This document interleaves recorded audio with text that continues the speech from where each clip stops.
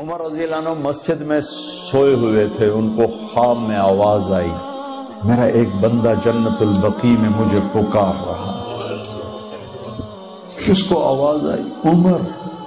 किसके बारे में? गाने वाला।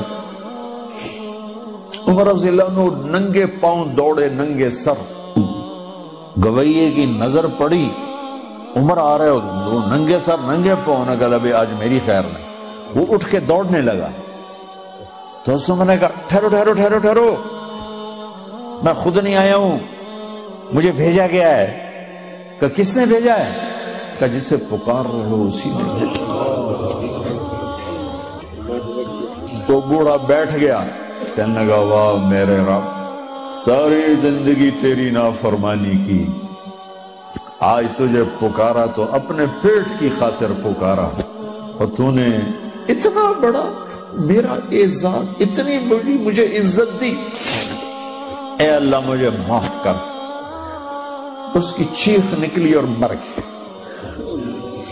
उमर रज़ी अल्लाह ताला ने खुद उसका जनाजा पढ़ा है।